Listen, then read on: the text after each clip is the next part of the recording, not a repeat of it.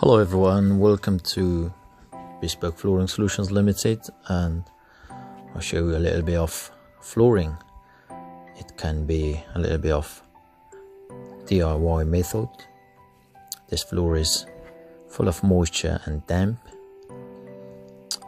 So uh, here we go, we're just using this Ultra Instarmac DPM, mix it like this, two parts so uh, mix it for two three minutes. And uh, once it's mixed pour it on the floor and trowel it on.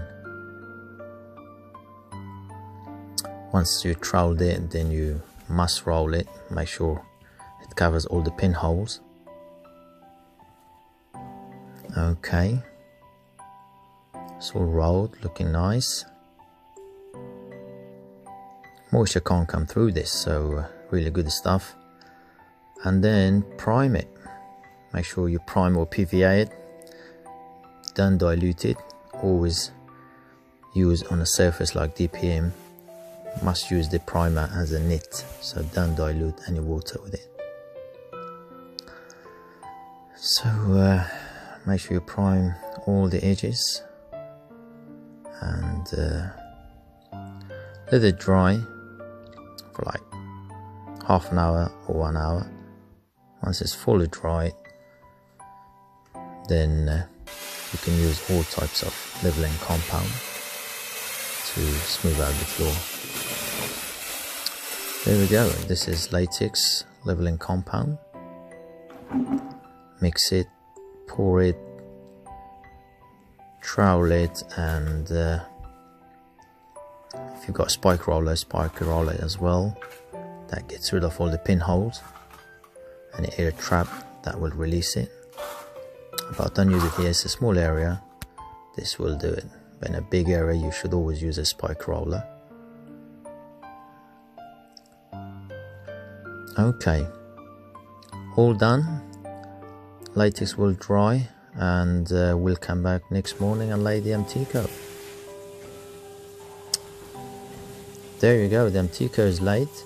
all the planks are light. with full pressure uh, sensitive adhesive.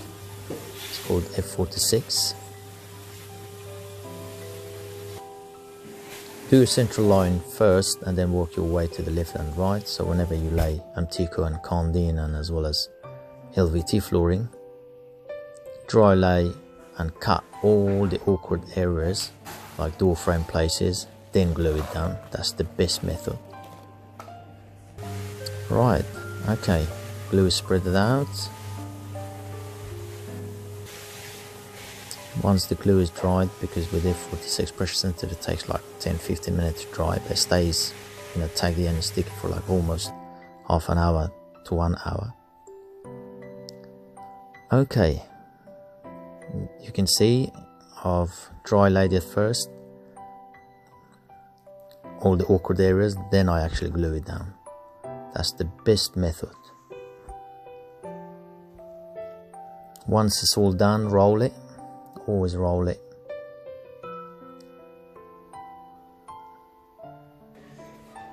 And then once you finish with the roller make sure it's all pressed into the adhesive okay. All done. There we are. That's the main kitchen. Looking really great. Looks like real wood.